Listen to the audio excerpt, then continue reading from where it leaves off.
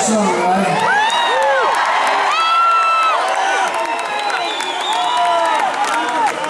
I'm gonna do one more song, but you gotta promise to dance, alright?